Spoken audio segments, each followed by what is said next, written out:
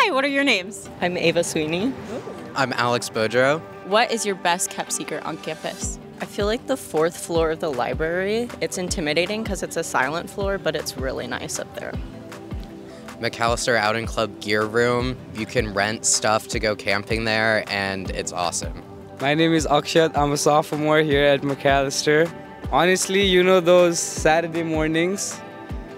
It always, the whole day goes good if you start it with coffee from Dunn Bros. My name's Liz, studying in the chapel. It's so nice, and when it snows, you're just like surrounded by a winter wonderland. Very pretty. I've never studied there. That's so smart.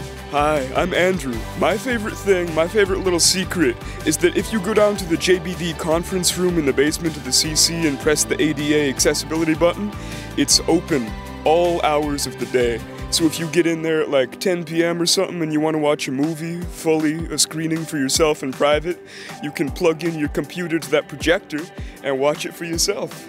That is awesome. Wow, I did not know that that was a thing.